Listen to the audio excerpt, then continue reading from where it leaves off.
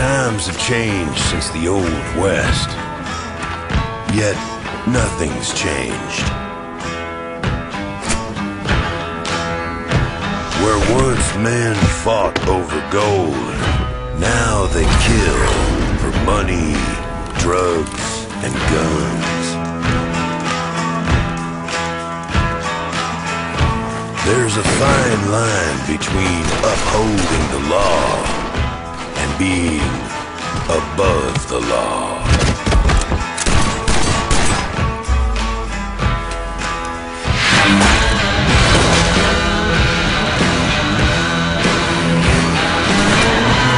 The cartels are the new outlaws. They said an army of good cops couldn't bring them down.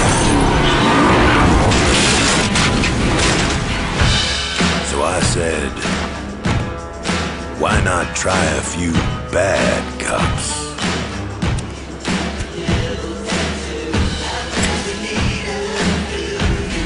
Welcome to the new Wild West.